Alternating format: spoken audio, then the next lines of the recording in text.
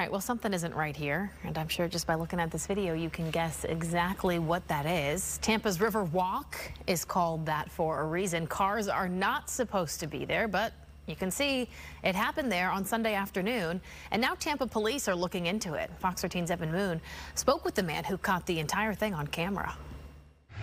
Oh, you can't speed away now. You can't speed away now. Tampa's River Walk turns into a river drive. Uh, I was sitting there doing reservations when a red car came by. I was kind of surprised that it did.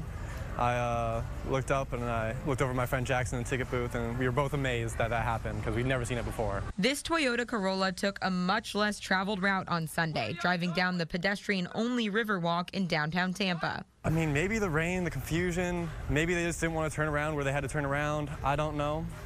But uh, seeing them when we did was surprising because they had to come a minute for that. Kiefer Reinhardt spotted the car near the convention center and immediately started recording, just barely seeing who was inside the car. Maybe a little frazzled, maybe a little confused, but I mean, if anybody was there, they'd be confused. Uh, they seem to be a little bit older. They had Florida plates, though.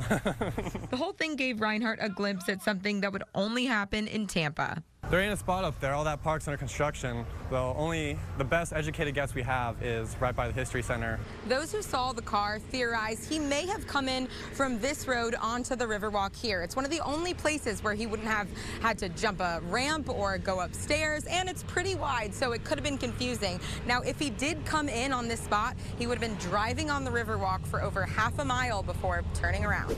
The City of Tampa's Mobility Department sent Fox 13 a statement saying the Riverwalk is designed exclusively for pedestrians. Driving a vehicle on it is not only illegal, but also poses significant safety risks. While it is not yet clear why the driver ended up on this pedestrian walkway, the Tampa Police Department is looking into it.